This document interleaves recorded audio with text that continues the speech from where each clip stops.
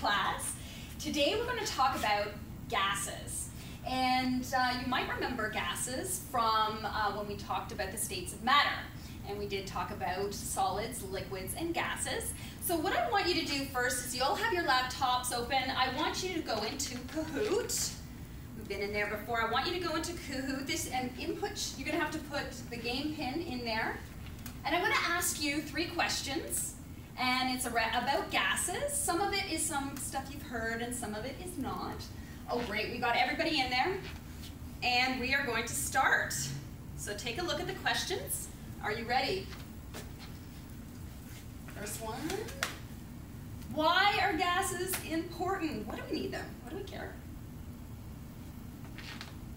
Well, take a look. You only have 16 seconds. That's a lot of time. So think about it. What do you think gases are important? Awesome. I'm glad that you most of you got that we need them to breathe air. That's pretty important. Okay, the next question is, what are the four basic properties of gases? So is it volume, pressure, viscosity, and density? Or is it density and pressure and cohesion? Kinetic energy. Let's see your answers. Oh, great job. Okay, so we got some review. Let's go. And the next question is, and we'll go through some of these. What is pressure? You may not know. This is, but we're going to go through this today. Take a look. Let's see some of your answers. On the perfect, guys. You know what pressure is. That's great. So I'm just going to recap for you here some of the questions that we went through. So really what we're looking at here is what is gas? So we know it's a state of matter. We know the elements are liquid and solid. And gas is made up of atoms and molecules. We know our inert gases are the atoms. And like helium, love to put that in balloons. And they have a lot of space between them. So there's a lot, and they're free to move past one each past each other and they can collide with surfaces and with other gases and we know the collision results in some force against those uh, and pressure. So what are the four basic properties of gas? So we just, that was one of your questions. Name some off. Give me a name. Pressure. Pressure, that's a good one. Pressure, and any others? Volume. Volume. Oh, look at, we're pretty good. What's the next one? The amount of gas. The amount of gas! Oh my goodness, next one. Temperature, wow. So we got pressure, volume, and amount of gas, and temperature. Those are the basic properties of the gas. And um, there were some scientists a long time ago, actually, that went through and they said, okay, I want to understand a little bit more about these properties and how they relate to gases, and, and what happens if I make some changes to these. And these scientists created some laws. So those scientists are Charles, Charles's law. Boyle also, he looked at volume and temperature he looked at pressure and volume, and he looked at the number of moles and uh, pressure, I think. Um, and the ideal gas law puts it all together. So we're going to talk about those, but we're going to start talking about Charles' law. So who was Charles? So J.A. Charles, he was a French mathematician and a physicist. And an interesting thing about Charles was that he was one among the first to ascend in a hydrogen-filled balloon.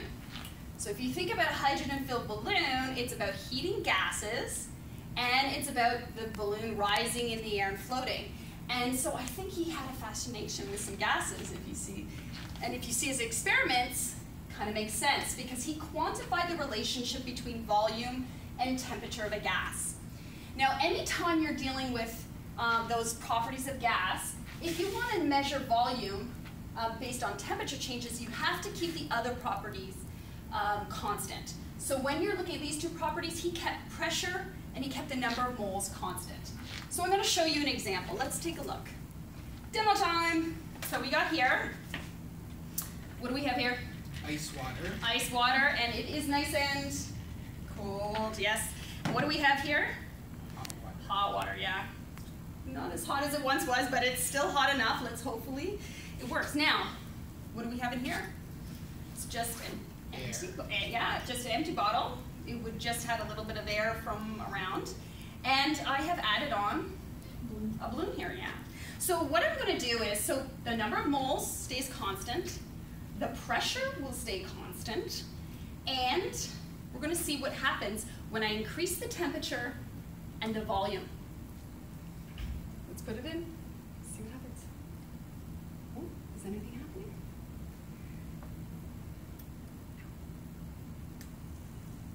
Ooh, are we seeing something?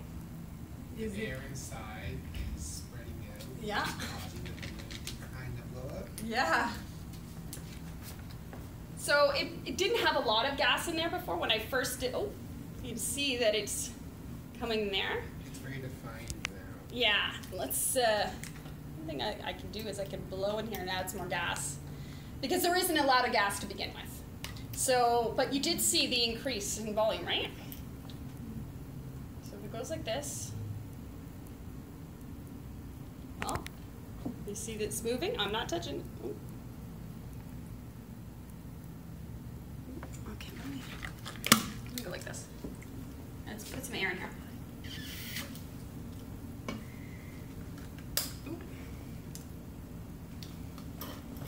And this is the thing about science. Sometimes it works, and sometimes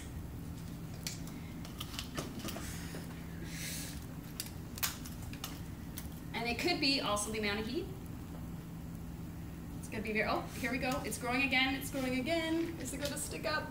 It's growing, it's growing, it's growing.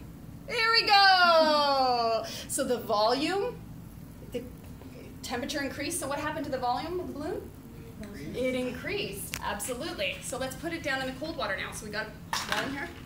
What's gonna happen? It went down, It's right? Shrinking. It shrinked. Why? Because the temperature decreased. Causing the molecules to go closer. Well, it- basically, it's about energy, right? So when we put it in hot water, what happens to those gas molecules?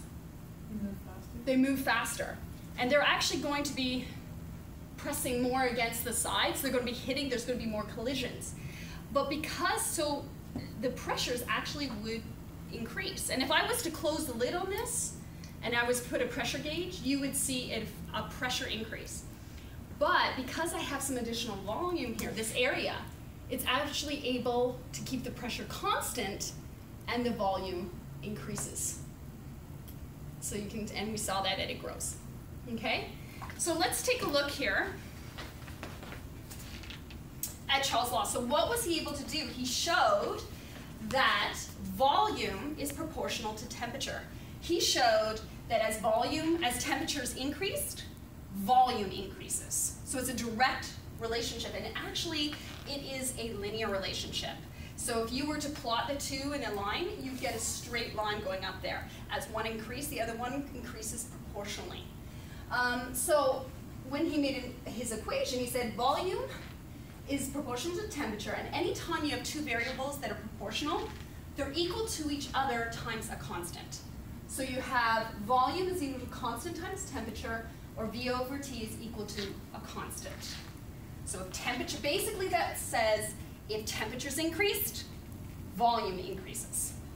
So why? I think we talked a little bit about that.